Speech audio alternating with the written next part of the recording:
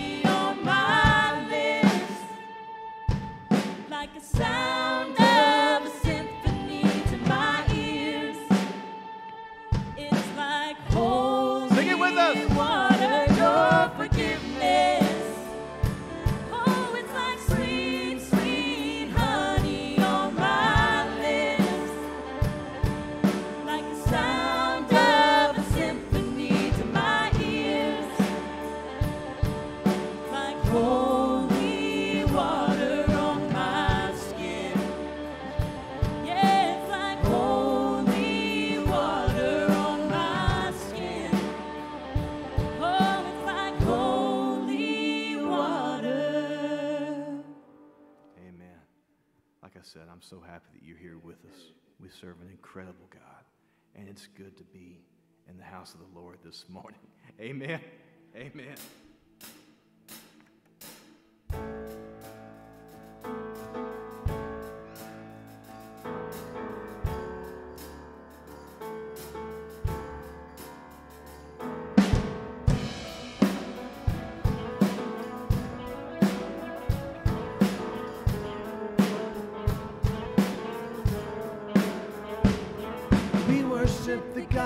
was.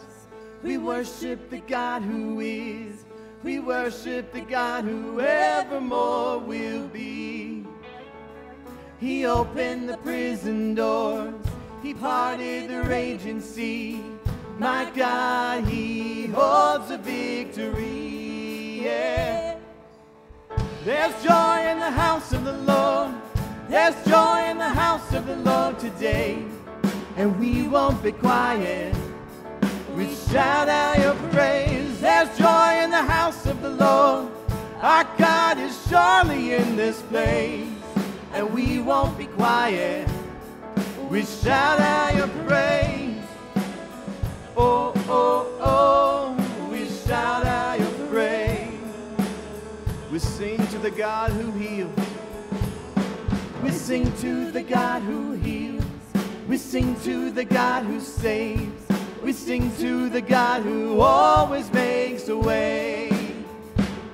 Cause he hung up on that cross and he rose up from that grave. My God, still rolling stones away. There's joy in the house of the Lord. There's joy in the house of the Lord today. And we won't be quiet. We shout out your praise. There's joy in the house of the Lord. Our God is surely in this place. And we won't be quiet. We shout out your praise. We were the beggar, now we're royalty. We were the prisoner, now we're running free. We are forgiven, accepted, redeemed by His grace. Let the house of the Lord sing praise. We were the beggars, we were the beggars, now we're royalty. We were the prisoners. Now we're running free. We are forgiven, accepted, redeemed by His grace. Let the house of the Lord sing praise. The Lord. There's joy in the house of the Lord today. And we won't be quiet. We shout out your praise. There's joy in the house of the Lord. Our God is surely in this place, and we won't be quiet. We shout out your praise. There's joy in the house of the Lord. There's joy in the house of the Lord today, and we won't be quiet. Shout out your praise. There's joy in the house of the Lord. Our God is surely in this place, and we won't be quiet. We shout out your praise. Oh, oh, oh, we shout out your praise. We shout out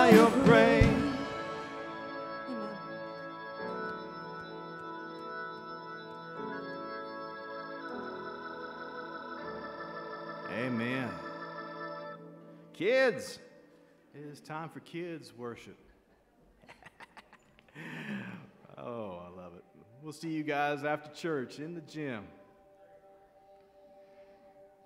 As they're doing that, let's come back to worship.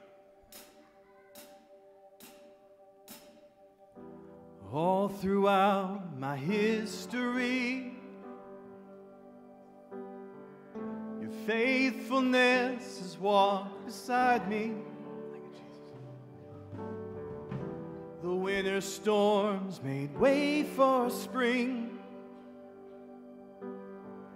In every season, from where I'm standing, I see the evidence of your goodness all over my life, all over my life. I see your promises in fulfillment all over my life, all over my life. Help me remember when I'm weak. Fear may come, but fear will leave. You lead my heart to victory. You are my strength, and you always will be. I see the evidence of your goodness all over my life, all over my life. I see your promises fulfillment all over my life, all over my life. See the cross, see the cross, the empty grave. The evidence is endless. All my sin rolled away because of you, oh Jesus. I see the cross, the empty grave. The the evidence sin rolled away because of you, oh Jesus. Oh, I see the evidence of your goodness all over my life, all over my life. I see your promises. I see your promises in fulfillment all over my my life. Oh, I see the evidence of your goodness all over my life, all over my life. I see your promises in fulfillment all over my life, all over my life.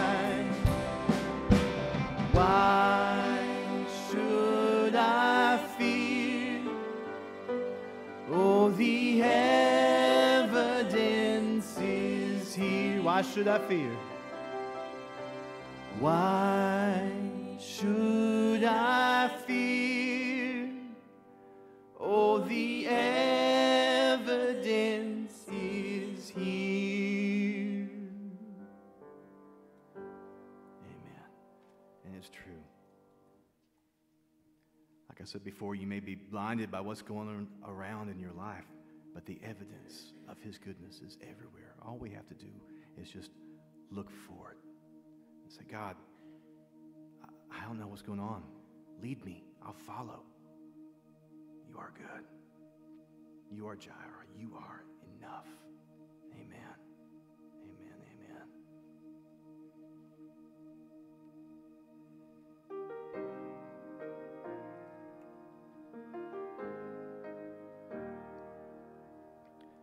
I'll never be more loved than I am right now. Wasn't holding you up, so there's nothing I can do to let you down. It doesn't take a trophy to make you proud. I'll never be more loved than I am right now. Going through a storm, but I won't go down. I hear your voice carried in the rhythm of the wind to call me out.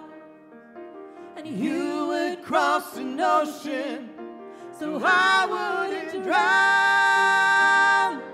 You've never been closer than you are right now.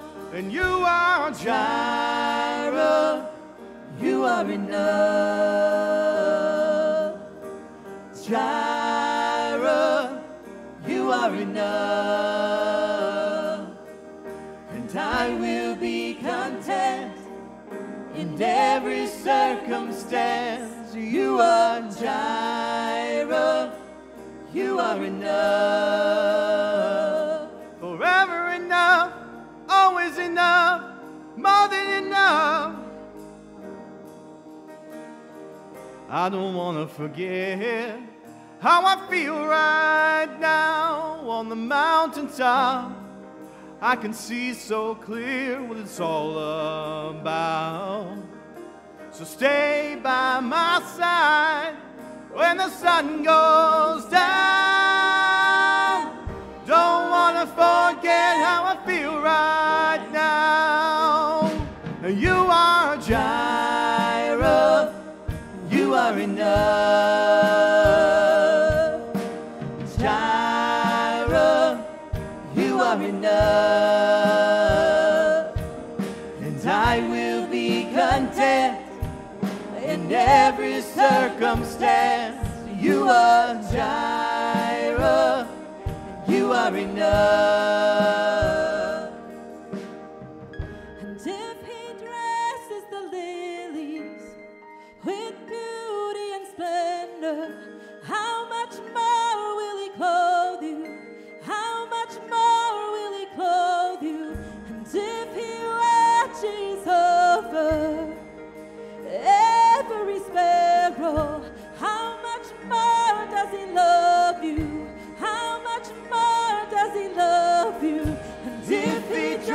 Dresses the lilies with beauty and splendor, how much more will he clothe you? How much more will he clothe you? And if he watches over every sparrow, how much more does he love you? How much more does he love you? How much more does he love you? How much more does he love you? How much more does he love you? How much more? You are Jireh. You are enough. Jireh. You are enough. And I will be content in every circumstance. You are Jireh. You are enough. Sing it with us, Jireh. You are Jireh. You are enough. Jireh. You are enough. I'll be content. And I will be content in every circumstance. You are Jireh. You are enough. And He is. Amen. Thank you, God, for being enough. Amen. You may be seated. Let's, let's just pray as we.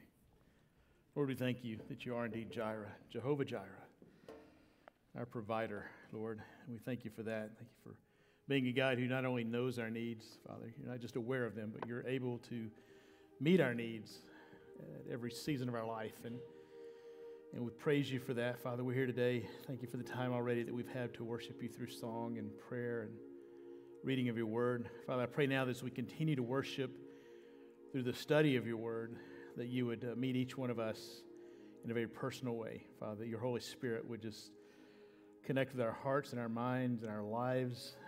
And Father, convict us where we need to be convicted, encourage us where we need encouraging, um, challenge us, Father, where we need to be challenged, and affirm, Heavenly Father, your strength, your power, and your provision in our lives. We pray it in Jesus' name. Amen. Amen. Thank you, Matt. Thank you, band. We appreciate your, your leadership. Praying for Sean, who's not with us today. Did you mention that already? No, sir. Yes, our drummer is, is not with us today. We're praying for him, and we have a guest drummer. Thanks for being here, wherever you went. Uh, yeah, you did a good job. Uh, hope you have your Bible with you today. I want to encourage you to turn to Romans chapter 8. Romans 8. Uh, we're in the first uh, section of this, this series. I, I mean, of this uh, uh, chapter. I told you last week that if you think of all the Bible, now all the Bible is inspired. Hesitate to say this because I don't want to kind of put part of the Bible up against another part because it's all inspired, it's all living, active, sharper than a two edged sword, and every piece of the Bible can touch our hearts. But many commentators will point to Romans as a, a, a, jewel there in Scripture because there's so much truth there. There's so much practical truth in the book of Romans about our relationship with God and how He works in our life. And then the eighth chapter of Romans is sort of the pinnacle of that mountain range, if you want to think of it that way. In fact, I, was, I would say, and I said this in the early service, if you want to kickstart your spiritual walk, if you just kind of feel like you're in a rut and you need to, God to kind of kickstart your spiritual walk, let me just encourage you to read the eighth chapter of Romans. Just read it every day for a week. And I believe that you will be encouraged by that. In fact, this will be a great time to do it because we're going to spend the next few uh, weeks studying here in the eighth chapter. We're sort of doing a high level view of Romans this time uh, as we go through it, but we're going to we're going to camp out in Romans 8 for a few weeks. And so you may just want to uh, spend some time reading every morning for a, a month. And you'll be amazed what happens in your Christian walk. The eighth chapter of the book of Romans. And, and, today we're starting in verse 5, which really is all about the difference in our thinking. Once we allow God to come into our life and to begin to transform us, the title of this series is Transformed. When He does that, He changes the way that we think. So let's pick it up in verse 5 today, Romans chapter 8.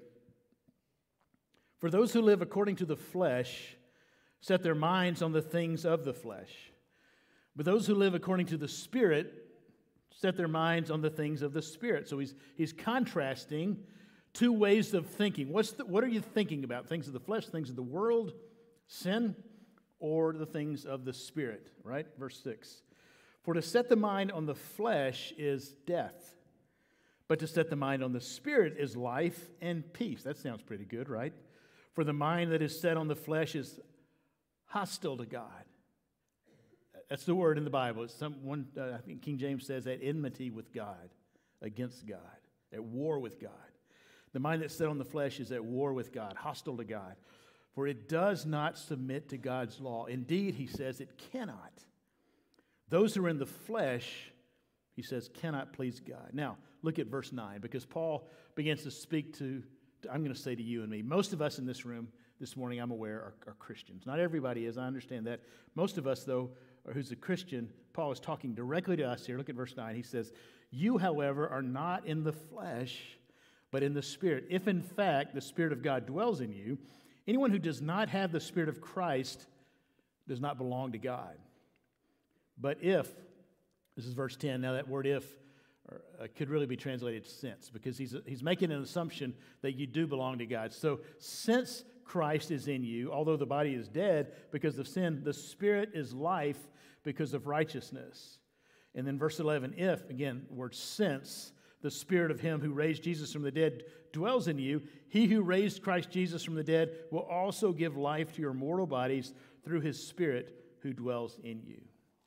So you've probably come to, if you're, if you're a Christian, you've been a Christian for a little while, you've probably come to learn that your mindset can determine your entire lifestyle. In fact, frankly, even if you're not a Christian, you know that. The things that you think on, it's really going to direct the way that you go in your life, right? It's, it's, it's going to guide you in the way that you go in life. So your, your, the way your thought pattern, your pro, thought processes are going to determine your lifestyle. And that's why the Apostle Paul is making this contrast here between the mind which is set on the flesh, the things of the world, sin. I'm just going to say sin this morning so he's contrasting that against the mind that is set on the things of the Spirit.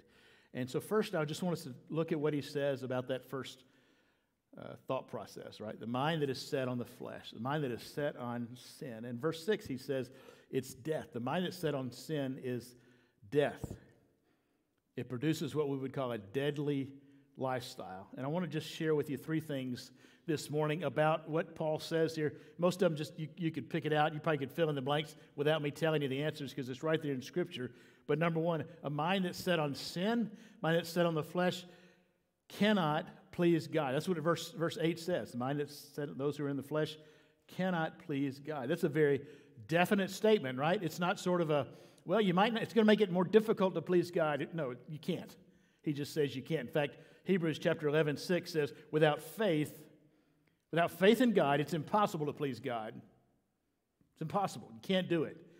Because anyone who comes to him must first of all believe that he exists and that he rewards those who earnestly seek him. And so it's impossible to please God without faith, without believing in him, without having a mind set on him. And here's the thing uh, uh, researchers have surveyed Americans and did you know that most Americans, believe it or not, and you might not believe it, you know, if you hear the, you listen a lot to the, the news, but the reality is most Americans really want to please God. They may have different ideas of who God is or what God is, but they want to please whatever they're, even atheists they, you know, I don't believe in God, but I want to please Him. If there was one, I'd want to please Him. And of course, most people think that the way you please God is by, you know, cleaning up your act uh, I want to please God. Well, we just kind of naturally have this idea that even people that are non-religious or don't really care about, you know, agnostics, they agnostics are sort of like atheists who are at least honest, you know, they because I think most atheists kind of have to acknowledge there could be a God out there, but they don't want to. But agnostics will say, you know, I think if there was a God, the way that I'd make him happy is by cleaning up my act. So we think of God, at least they may want to complain about God as a bad guy, but they think to please Him, you're going to do something good. But the Bible says that if our mind's not set on the things of God, if it's not set on the things of the Spirit, we can't. It's just it's you're gonna it's gonna be a futile exercise, and you're gonna be frustrated in trying to do that, trying to please Him. We spend a lot of our time trying to just push out the bad things in our life, the habits, the attitudes, the, the uh, hurtful actions that we have in our life, just to get rid of those bad thoughts in our life.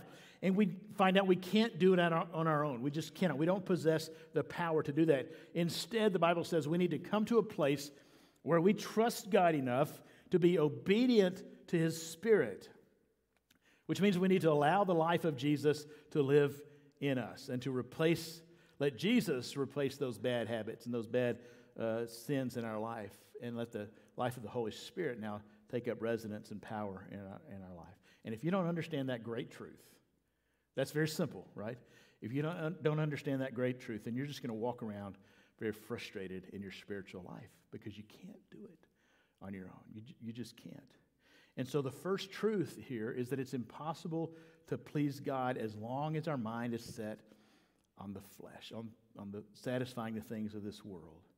And the reason is that uh, he says we really don't belong to Jesus. If that's, if that's the, the focus of our life, then look at verse 9. He says, Anyone who does not have the Spirit of Christ doesn't belong to him. So the second thing we see here in our in our notes here is that the mind that is set on sin really doesn't know God personally. If, if the focus of our life is, is sin and the, and the flesh, the, the reality is we just don't know. We don't have a personal relationship with God.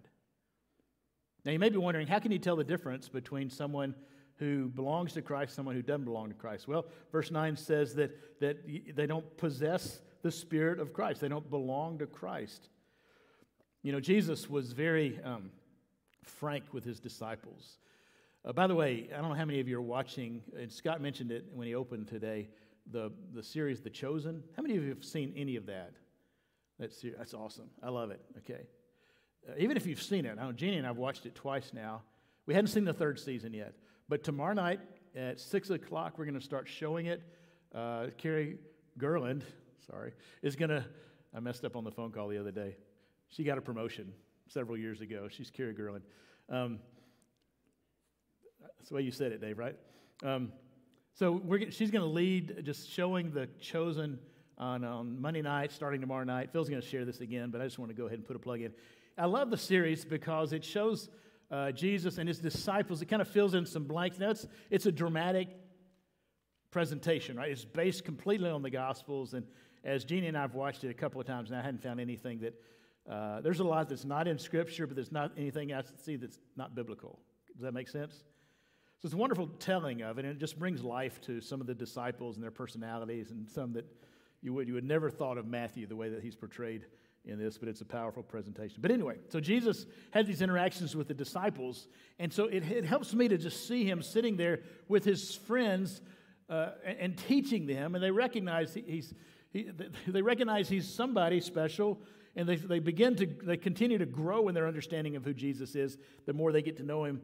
But Jesus looks at the disciples, Matthew 7 21, and he says, You know what? Not everyone who says to me, Lord, Lord, will enter into the kingdom of heaven. A lot of people can say religious things and do religious things, but he says, you know, not everybody that says Christian stuff will enter into the kingdom of heaven. Well, how do you know? He says, but the one who does the will of the Father who is in heaven, that's how you know. The one who's obedient, the one whose life is transformed by my spirit. The one who's, who's trusting me is the one who's given control of his or her life to God. And you're going to know the difference because they look different. You can claim to be a Christian all day long, Jesus is saying. You can even go through a lot of religious rituals, but the Bible says if you don't know God personally, then you don't belong to Christ. And the evidence that someone's just playing Christian games is, is putting on a Christian facade is that ultimately they don't submit to God. They just don't do it. All right, so that's number two. Uh, and I mean, number three is, is, that, is just that. They don't submit to God. A mind that is set on the things of the world is they don't submit to God. Look at verse 6 again. For to set the mind on the flesh on the, is death. To set the mind on the flesh is death. But to set the mind on the spirit is life and peace. Now, let me just, let me just explain this kind of quickly because some of you are going to say, well, I see a lot of people whose mind, who I know, in their mind are certainly not set on the things of the Spirit. And they're walking around and they look like they're just doing fine and dandy. So explain that to me. Well, you got to remember in the New Testament, there's two different words for life. There's the word bios. We get our word biography from it. I mean, biology from it, not biography. Well, biography too, actually, because it speaks of, of just physical life. Biography is the, the story of someone's physical life, biology is the study of life physically. But the New Testament has, New Testament uses that word, but it also uses another word in the Greek, and that's the word zoe.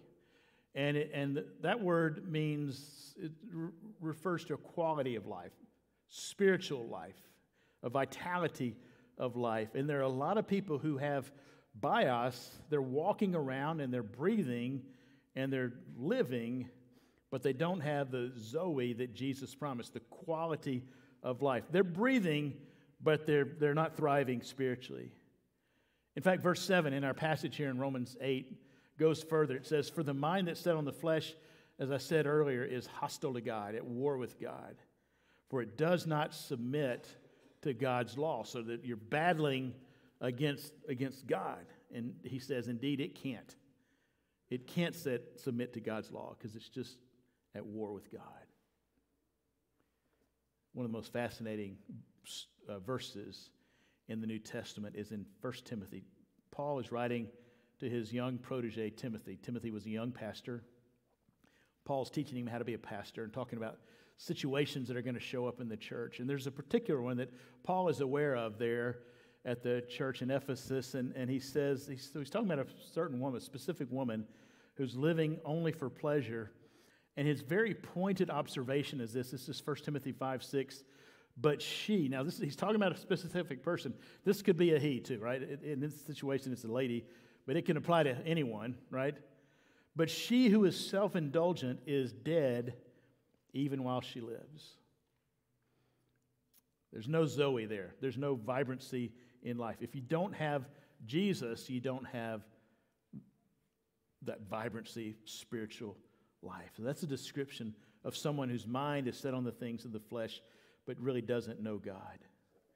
So that's, that's what the, the Bible says there. So God gives, I mean, Paul gives us this, this, this kind of bad news, but the Bible is, is not just a bad news book. I want you to understand that. In fact, the gospel is good news. That's what it means. And sometimes we need to understand the bad news, so we need to recognize this, this uh, mind that's set on the flesh first, so we can recognize just how good the good news really is. And that's what uh, he, he speaks about here in this passage as well. Look at the second part of verse 6. He says, But to set the mind on the Spirit, on the Holy Spirit, is, is life. It's Zoe, right? That's spiritual life and it's peace. That sounds good.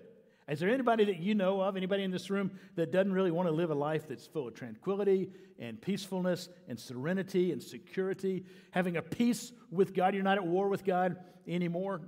Anybody in here that doesn't want to do that? It sounds like a good way to go, right? So, how do we do it? Well, the only way that we can do that, Paul says, is to set our mind on the things of the Spirit. So, let's just look at, as we finish up, three ways that the Holy Spirit uh, relates to us as Christians. What happens in our life when the Holy Spirit takes control? First of all, a mind that is set on the Spirit is indwelt by the Holy Spirit Himself. I'm going to explain that word in a minute. Look at verse 9 he says, You, however, are not, are not in the flesh. Christians, you're not in the flesh, but you're in the Spirit, if in fact the Spirit of God dwells in you. Some translations do use that word indwelt, which means that we become literally the residence, the dwelling place of God. When you become a Christian, He takes up residence in your life in the person of the Holy Spirit. And because He's living in us and we trust Him, then, then we're to give him complete control of our life. That's number two. The mindset on the Spirit is filled, is controlled with the Spirit. We're controlled by the Spirit of God, filled with the Spirit. The Bible says that we are to be filled, we're to be controlled by the Spirit of God. Verse 9 again, Paul says, in essence, you believers, you're not controlled by the sinful nature anymore. You're not, your mind's not set on that anymore. Instead, you're, not, you're filled with the Spirit. You're controlled by the Spirit. Let me just say this it's important for us to recognize there's a difference between being indwelt by the Spirit and being filled with the Spirit. Let me explain it because it's important for us to understand. If you're a believer, if you're a follower of the Lord Jesus Christ, you've trusted Christ for salvation, the Holy Spirit is living in you. To be honest, you're always. Uh, fill, uh, contr- uh, not, he, he's al- you're always indwelt by the Holy Spirit. He has taken up residence in your life. But now, if you give an honest reckoning of yourself, can you honestly say that you're always controlled by the Spirit? He's living in you, He's, you're indwelt. Can you say that your life is always controlled by the Holy Spirit? Be honest. You don't have to answer out loud, but just think to yourself. The answer is no, by the way. I just know that. And it's not because I know most of you and I'm thinking bad of you. It's just the reality of our. Paul just spent the entire chapter 7 talking about that. Because sometimes our mind listens to that old sinful nature. Sometimes we just, we're just looking back at the things of the flesh. And the, the choice that we have is, is yours, it's mine. It's, what are we going to do? Are we going to listen to the things of the world? Or are we going to listen to the Spirit of God who dwells in our life? And right there, I know that some of you are thinking, wait a minute, does that mean that, you know, when I become a Christian and the Holy Spirit indwells in me, then later on I get more of the Holy Spirit of God? Is that the way it works? No, not at all. Uh, you never get any more of the Spirit. When he, when he moves into your life, you get all the Spirit of God. The Holy, Holy Spirit moves into your life. What happens is He gets more of you. You give more allegiance and more obedience and more trust to the Holy Spirit. He's living, he's living in you. And so, being filled with the Holy Spirit, being controlled by the Holy Spirit, is not getting more of God. Why would God hold something back from you when you get saved? Say, yeah, you're saved, but you're not saved enough. you get saved better, and I'll give you a little bit more of the Holy Spirit. That's not the way it works. God gives you all of the Holy Spirit. What happens is we're, we're holding some things back, and we're growing. That's what the Christian life is all about. We're growing in Christ. It's God getting more of you. There's nowhere in the New Testament where Christians are commanded to be indwelt by the Holy Spirit. Do you know why? Because it just happens naturally when we trust Christ. You don't have to go out and figure out how to get indwelt. We are, we're indwelt by the Spirit of God. Hey, Terry? I was up here, all right? Thanks. all right, so when you, when you become a Christian, when you, when you become a Christian, the Spirit of God takes up residence in your life, and, and, and, and you get all of, all of the Holy Spirit. But several times in the New Testament, so we're, we're, we're not commanded to be indwelt, that just happens. But there are times in the New Testament where we're commanded to be filled, right? The Bible does command us to be filled, to be controlled by the Holy Spirit. God wouldn't command you to do something if it just automatically happened, right? It just it happens because we're, we're, indwelt because of, we've trusted Christ, but He commands us to be controlled by the Spirit of God, to be filled with the Holy Spirit. And that means that you've totally surrendered to Jesus Christ, to the Holy Spirit. And, and when that happens, and what happens is the person of Jesus Christ is being reproduced through your life. When, when we're discipled, when we grow as disciples, then the person of Jesus Christ is going to be reflected through our life. The fruit of the Spirit is going to be evidence in our life love, joy, peace, patience, kindness, goodness, faithfulness, gentleness, and self control. That's when the personality of Jesus is, is flowing through you. So let me, let me just remind you again that the victorious Christian life, this is so important, and I say it a lot, I know, is not you looking at Jesus and trying to imitate him. That's, it's not what it's, because you can't do that. You, you, you, we don't possess the power to imitate Jesus. You can say some of the words that Jesus said, you can memorize some of the, his great quotes, but you can't truly imitate the life of Jesus. You can't respond to people the way that, in your own power, the way that Jesus did, but he can through you. So the key to the Christian life is just surrendering, just saying, Jesus, I'm giving you my life, and I'm surrendering this to the Spirit of Jesus Christ living inside of me, and I'm yielding to him. I'm yielding to him to live his life through me. And you may say, well, okay, I want to do that. Why is it that I find myself like Paul? And I'm still struggling. I'm still struggling with this. I still have these things that I don't want to do that I'm doing, and the things I do want to do. Why? Well, it may be simply that you don't believe the Holy Spirit can control your life. Maybe it's just unbelief. That, that may be the reason. You really don't believe that He can do that. You may still be under the assumption that you have to do it yourself. So, unbelief may be one of the reasons that you're not really controlled by the Spirit of God. You're still trying to work it out in your flesh. Another reason, so that's one, another reason may be simply that, uh, that you have unconfessed sin in your life. One of the reasons that many people struggle with allowing the Holy Spirit to live and control their life is because they have unconfessed sin in their life. I know a lot of you, like me, have been following what's going on in Claremore, Oklahoma at Asbury, this revival, this awakening that's going on at the college. I mentioned this last week. It began uh, typical chapel service on a Wednesday, a week and a half ago, uh, there in, in uh, at Asbury. They just 10 o'clock. I think Monday, Wednesday, Friday they have chapel. 10 o'clock they had chapel, and it's they said fairly typical chapel service. The uh, the fellow who spoke that day, I'm not sure exactly even who he was, which is another reason I think this is this is genuine. There's no personalities involved. I can't tell you the name of anybody that's involved in this except the Holy Spirit and Yeshua, Jesus. But the guy you know, spoke about the love of God and living that out in his life, and they closed the disciple uh, the uh, chapel service, but it didn't end. Some of the people just stayed. The band kept playing, and finally, one of the students got up and and just began to have share a testimony of confession, and he just shared his heart with the people there in the room, and they said that as he spoke, the people that were there, the eyewitnesses said they just in that moment just it's like they felt a wind coming through the room. You know, we talked last week about uh, Greek word pneuma, the wind. That's the Holy Spirit. They could just feel the Spirit blowing through the room. And they stayed and they just continued to worship. They didn't put out posters or get, a committee together. They just kept worshiping. And they kept worshiping. And the afternoon, the, the president of Asbury praised God for this man who was sensitive to the Spirit of God. He just sent word to the classes that said, Look, if you want to go to the chapel, there's something going on there, and you're welcome to go. And so some of the students just started going to the, the chapel. It wasn't planned, it wasn't orchestrated. And they just continued to worship.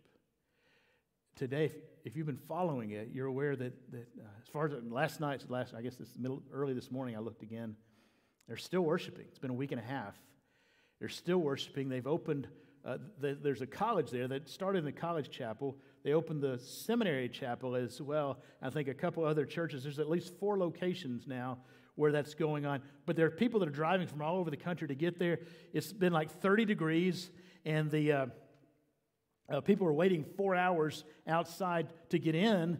But they finally just said, "What are we waiting for? Let's just worship God here and praise God here." And they, Matt, they just started. No, you're not Matt. They just, Matt's wife.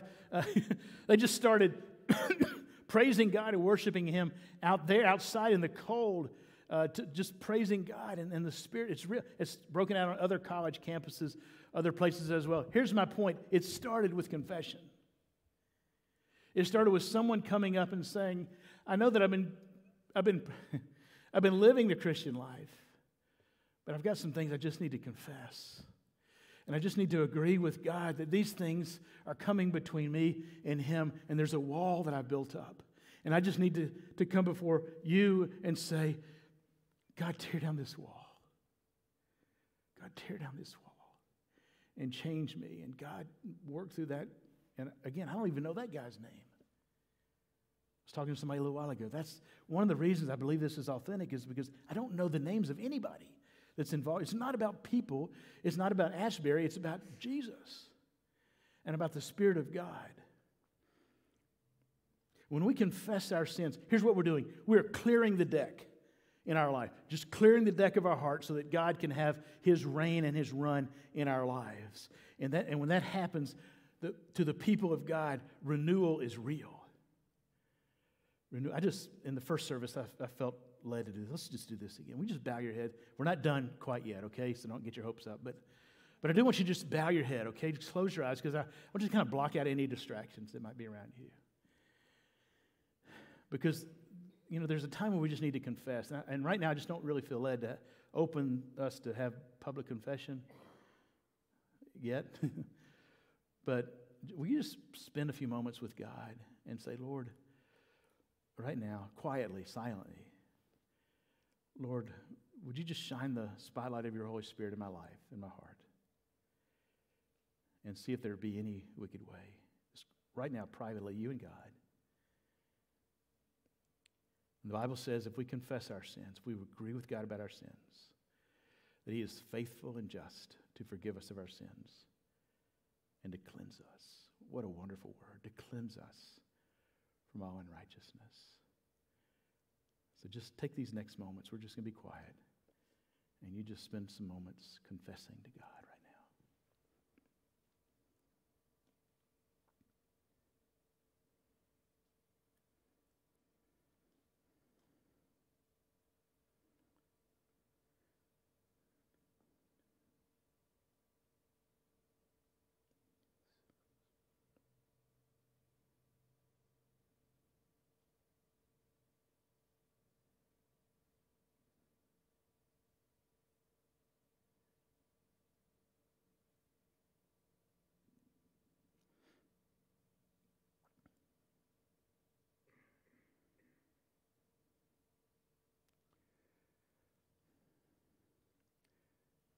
In the first service this morning, we sang a chorus, and most of you know this. It just says, Father, I adore you.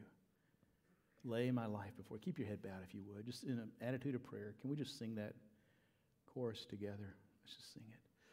Father, I adore you. Lay my life before you. How I love you. Jesus, Jesus, I adore you.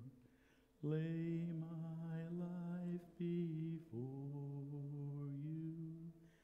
How I love you. Spirit,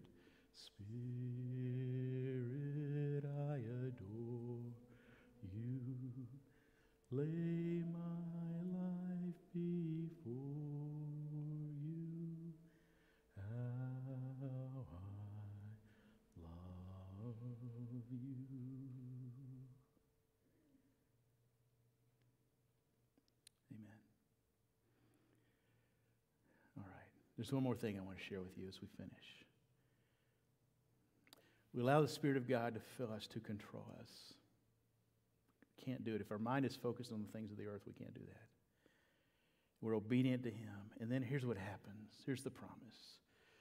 When we do this, we set our minds on the things of the Spirit, then we that's when renewal comes in our life. That's when revival, awakening happens in our lives. And listen, awakening is not going to come to our country. Don't pray for revival for our nation unless you're willing to be revived yourself, Christians. Verse 11 in our passage says this, and Scott began our service with this. Since the spirit of him who raised Jesus from the dead dwells in you. So Paul's established that. He's dwelling in you, he's living in you, you're indwelt by the Spirit of God. Since that's the truth, then he who raised Christ Jesus from the dead will also give life to your mortal bodies through his Spirit who dwells in you. So here's what happens as he dwells in us, as he, as he fills us with his, his power and we allow him to control our life, the Holy Spirit begins to renew us. He wants us to just to allow him to just keep on transforming us day by day. It's a day by day process. You're not, we talked last week, you're not going to be perfect immediately. Recognize that. And don't let Satan convince you otherwise that somehow you're not a good Christian because you're not perfect yet. You're not going to be perfect until you get to heaven, right? But day by day, he's continuing to conform us into the image of Jesus Christ, day by day. And that's, that's when we just daily submit to him. Will you be, just begin your day saying, Lord, I love you. I want to I wanna serve you. I want to honor you. I want to confess these things to you. Show me daily, Lord, areas of my life that aren't pleasing to you, attitudes, habits that aren't pleasing to you. I read a fascinating story about converts to early when the gospel was taken to Africa. And, and I tell you, revival's happening in Africa as well. But this, this was hundreds of years ago when, they, when Christian, Christianity was new there, and, and the, the Africans that became committed to Christ were tremendously earnest and regular in their just daily time alone with God, just private devotions. And they, the story goes that every one of them had his own spot. So if you think about the African village, just kind of in my mind, I think of the, the brush there, right? And they would each have their own tree they went to, or, or a place where they went to pray and to spend time alone with God. And so you can imagine that, that as, the, as they went to this place, the path they took became worn. And so you could tell where each person was, you kind of tell where each of the kind of prayer outdoor closets were, right? But the, the problem with that is, is if you, maybe it's not a problem, it's a good thing, I guess. If you quit doing it, then the grass is going to start growing in your path. And so, one of the sayings, one of the accountability, kind of a subtle encouragement from the one to another was, Brother, the grass grows on your path. And they knew what that meant. And so, the question for each of us is the grass growing on our paths? You can't be controlled with that spirit. Again, He's living in your life. If you're a Christian, He's there. But He's not going to control your life unless you daily come to Him and confess and praise Him and, and spend time in His Word, getting to know Him. The lifestyle of the redeemed, the lifestyle of, of the faithful has everything to do with quality. It's not just living long, but it's the daily pursuit of God that we experience, and we're going to experience all the blessings that He's promised. So the question is has the grass, has the grass grown tall on the pathway of your daily walk with God? Let me ask you just to bow your head one more time as we finish. I'm going to ask Matt to come on up.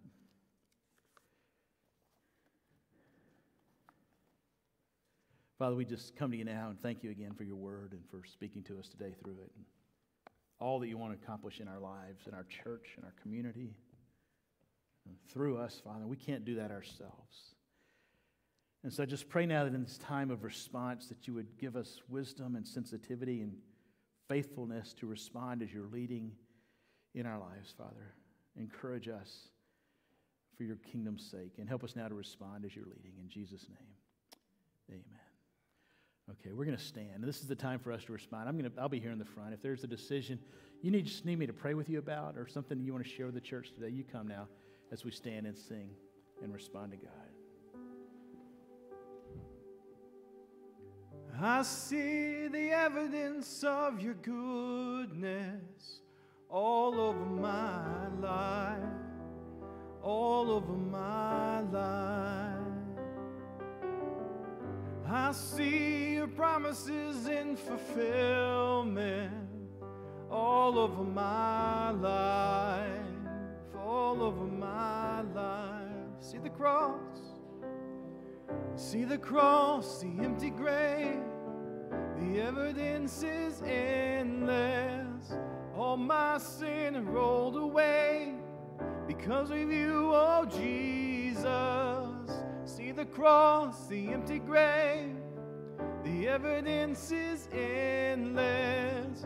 All my sin rolled away because of you, oh Jesus. Oh, I see the evidence of your goodness all over my life, all over my life. I see your promises in fulfillment all over my life, all over my life. See the evidence I see the evidence of your goodness all over my life, all over my life. I see your promises in fulfillment all over my life, all over my life. Why should I fear? Why? Should I fear? Oh, the evidence is here. Why should I fear? Why should I fear?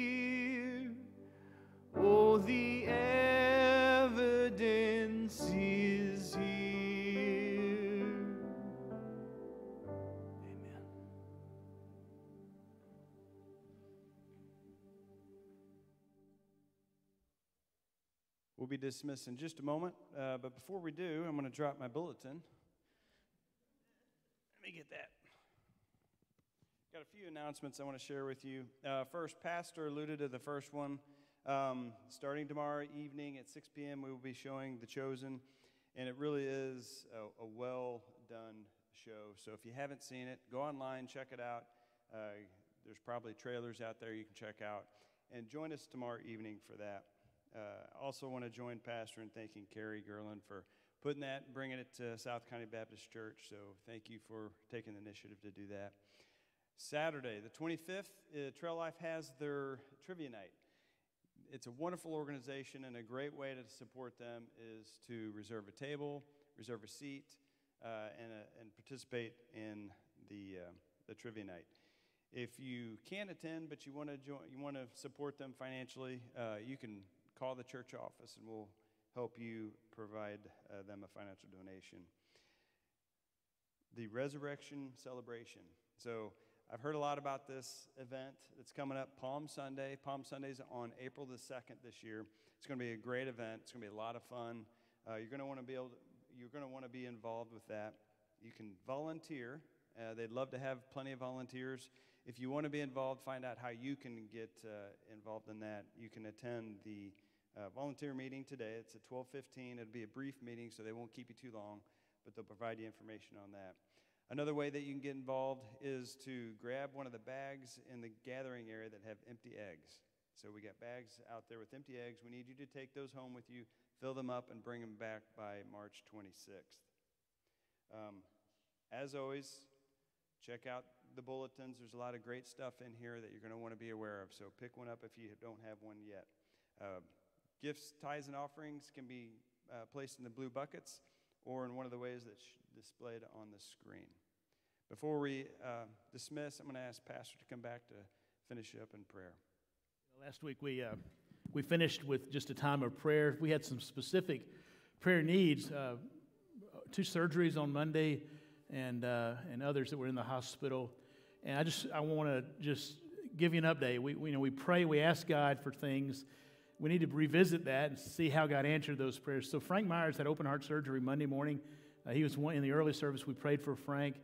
Um, he had open heart surgery Monday morning. He was in worship service this morning in the first service, and he gave a little t- a testimony about how God had really worked through his surgery, and the doctors just amazed at his progress. He said, if you know one is the best, he was a one, and the doctors were just amazed. He said, I got a lot of people praying for me, and that's why. So that's the praise to God. Debbie Malutmak's surgery was successful.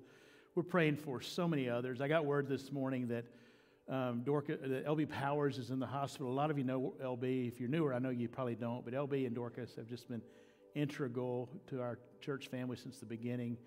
Um, they own the Eat Right Cafe, if you're familiar, Eat Right Diner. Um, but LB has COVID. He's in St. Mary, or St. Anthony's, Mercy South Hospital. And so just want to ask you to pray for LB. He's, he's been quite sick for a while. Pray for Dorcas. She also has COVID, so she's at home and isn't able to be with LB. And so just let me ask you to pray for them.